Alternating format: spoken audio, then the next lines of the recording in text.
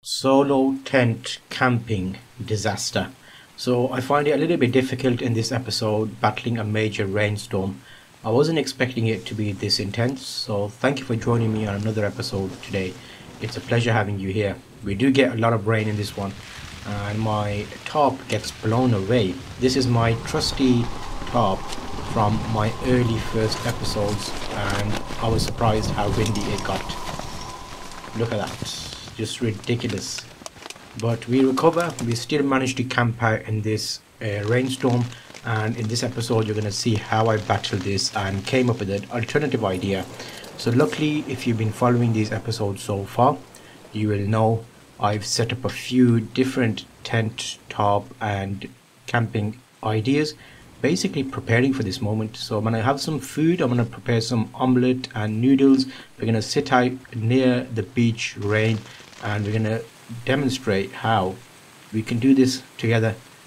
It's always amazing to be out in nature and I was aware there will be some rain coming but I wasn't expecting it to be so intense. So you will see in this episode how we battle this together. It's a, nice bog area and a lot of nature. So I always like to check out the trees, the leaves, the type of uh, foliage and nature around us you'll see some of the branches are very uh, dead so it's always good to see that and feel it in case we need to start a fire at any point. We want the ability to be able to create a fire if we need to. So I have a little waterproof poncho here which helps while we're setting up the tent because I was not too sure when the rain would come. And when it did come it was drizzling and then slowly it got windy and as that progressed we had to deal with the situation. So you'll see here we've come to this location before so if you have been following my series you'll know it's amazing. And I like to relax I like to take my time setting up but sometimes when it gets very busy very windy then you need to think about how and when to set up exactly using the right types of pegs. So you'll see I had to get some new pegs which are plastic uh, cross shaped to have a little bit more uh, hold in the ground. And because the wind was so windy it actually blew over my chair a few times and I had to consider an alternative. Luckily I have picked up another tarp and this one is the main tarp I use and I thought it would be enough. But I did have a secondary tarp which is going to work very well because that's what ends up saving our day and I was still able to camp out. So you'll see I knew it was gonna get windy so I set up a secondary location and had that in case because I thought I want to keep my gear uh, dry. In a camping scenario the main aim of the goal is be as dry as possible and keep your kit dry. If you can accomplish those then you're basically you're doing okay. Um, so we got shelter see the chair keeps blowing over the table blew over uh, it's a case of adapting. I want to have a relaxing session, however, sometimes nature will throw you a curveball. So let's see how we can uh, address this. So I'm slowly packing away some of the this gear I've got and I move it over to a secondary location. Uh, it's always a, a basic setup, so when you're doing the tarp, take a little bit of time, check the floor right, get rid of any sharp objects, and luckily there was an overhanging tree which was quite solid.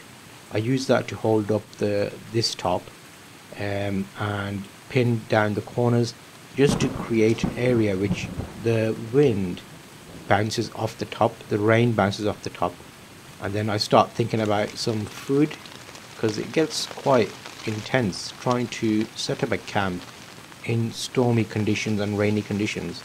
So having some food brings some energy to you and as the rain was getting more intense I did think about using the second tarp as like a porch area to my main tent which allowed the rain and wind to not come inside. So slowly I think about a, a meal and I get some oil in the pan start warming that up. And I've got a simple setup here with the kitchen. So over time you'll notice in the earlier episodes I've built up my gear. So if you're in this situation Slowly take your time, see what you need, what should you have, what is too much? Is a fine balance when it comes to camping and being out in nature. You want just the minimum amount of things to get away with uh, having a comfortable relaxing stay. But you don't want to get stuck in the glamping mode where you're copying or trying to imitate things you would have in like a normal home like you get all sorts of stuff. Some people have seen having inflatable sofas fridges cupboards and uh, computer games and maybe that's something in the future we can think about. But i think when you're out in nature you want to enjoy what we see here. Water wind air taking the atmosphere and having the basics helps you. So something simple to cook on something to burn um, some couple of little plates something to keep the rain away from you warm clothing maybe a second jacket. So all of these things are some things you will learn. So you can't really I, I've seen a few videos online but when I did this I found it easier to notice what worked. And I found that some things I didn't use I didn't bring on my second trip and slowly just bought the essentials so you'll see I'm using a kettle here to actually boil up water. And I used it as a pot at the same time because I put noodle in there. And the noodle in the hot water over time uh, were ready. And I put them over the omelette. And having a simple meal like this with some cheese some beans and peas and you know just a healthy option just to give you the energy boost. Nothing too intense just enough and easy to prepare and this is testing what we can do in future as I do my longer hikes and backpacking trips. And we go into uh, more adventurous locations. So if you're following along so far we've done a number of these and it's really nice to have you here with me. So I appreciate you being here. Please let me know which are your favorite episodes out of these. What do you like the most? Um, I enjoy these episodes where I'm out in the rain. I'm creating some simple food meals and just sharing them with you, having a drink, watching the waves of the ocean, the river, river the lake, and also the uh, wild camping type situations. I've done a few of in the, the jungle environments, in the, the trees and the timber wood forest.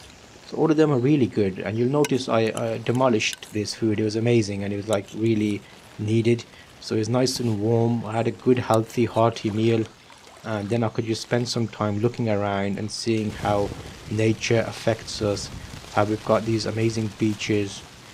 I should have brought my uh, fishing uh, rod with me just do a few uh, throws and lures just to see if we, we caught anything.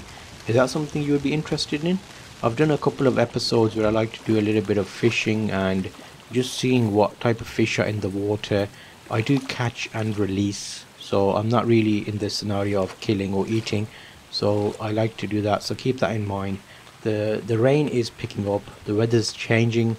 As times change weather's changing. So where possible try and get outdoors and enjoy your time outside because I think it's important to understand. It's it's we can all get drawn up into a busy life but when you're out you're in nature you'll notice I'm not too far from a busy town. You can see the skyline behind me so we are still in touch with the busy life but this moment that we share together here it just gives us that relaxation. And if you're not able to get out and do this yourself don't worry. You've got me here. You're here with me. We're doing this journey together. So you've basically attended this journey with me and you've spent some time relaxing. I'm hoping these give you a, moment of inspiration and uh, rain, wind, as as atrocious as it can be, as um, bad as it can be, it is something that we need to be able to deal with. So if something like this does happen, how do we deal with it? You basically have a secondary option and you try and relax, take a deep breath, and like in life, we want to be able to continue doing and succeeding in our area.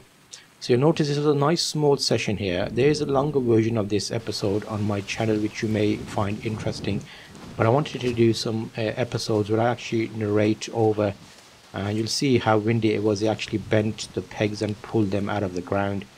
So I feel like adding this extra element of speaking to you about my journeys um, it lets me explain a little bit more and helps us both spend some time and relax and understand how camping works if you prefer the other videos I have got a full playlist of just camping sounds where I don't speak over my video and narrate the episode but I'm kind of uh, thinking about how I can share more with you because I feel like I can speak with you like this.